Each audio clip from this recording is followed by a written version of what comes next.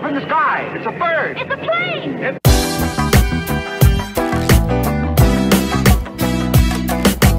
What is up guys, Kid Kritic is back with another episode of Kid Kritics Classics and on this episode I will be talking about Scarface which is directed by Brian De Palma and stars Al Pacino and it's about After getting a green card in exchange for assassinating a Cuban government official, Tony Montana, played by Al Pacino, stakes a claim on the drug trade in Miami, viciously murdering anyone who stands in his way. Tony eventually becomes the biggest drug lord in the state and controlling nearly all the cocaine that comes through Miami. But increased pressure from the police, wars with Colombian drug cartels, and his own drug fueled paranoia serves to fuel the flames of his eventual downfall. Alright, now with all that out of the way, Joker!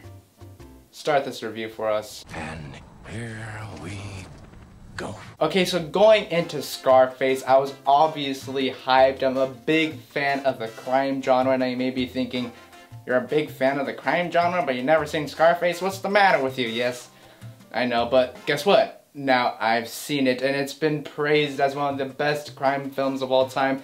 Or I've heard some people say one of the best films of all time.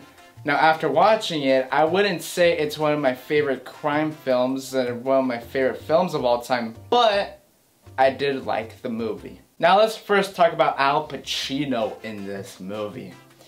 Now, I gotta tell you, I love Al Pacino. I mean, whether you're talking about Godfather, Serpico, or any other movie that he's been in, but he is pretty darn marvelous in this movie. Plus, the character of Tony Montana, to me, he's probably one of the best characters in the crime genre. I mean, Tony Montana has some awesome lines in this movie. Like one of my favorite moments in this movie is the restaurant scene after Michelle Pfeiffer leaves and Tony Montana's like, you need people like me so you can point your fingers at and say, that's the bad guy. I mean, that scene is just awesome. The stuff that he says in there, like, I tell the truth even when I lie. I mean, that, I mean, just good stuff. Good stuff. Now, spoilers ahead if you have not seen the movie, so I'd probably skip maybe another 45 seconds or so, maybe less, but my favorite moment in this movie is probably right before Tony Montana dies,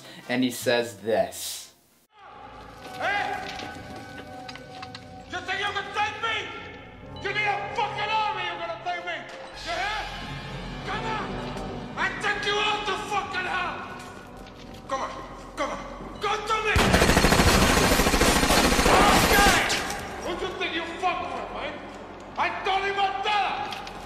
Fuck with me, you fucking with your back!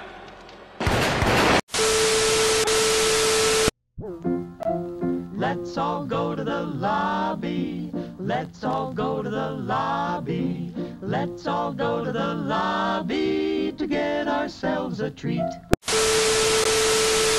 At the end of the day, again, I wouldn't say Scarface is like one of my favorite crime films of all time or one of my favorite films of all time, but again, I liked the movie. Not every movie has to be one of my favorite this or one of my favorite that. I mean, it does have one of my favorite characters in the crime genre of all time, so it's definitely that. But overall, I liked the movie. If you haven't seen Scarface and you're a big fan of the crime genre, I definitely recommend it. Just watching Al Pacino as Tony Montana is definitely some pretty entertaining stuff there. That said, tell me down in the comment section below, have you seen Scarface and what did you think about it? And don't forget to like and subscribe because that is very important. And as always in every single video, look out for the next video or review.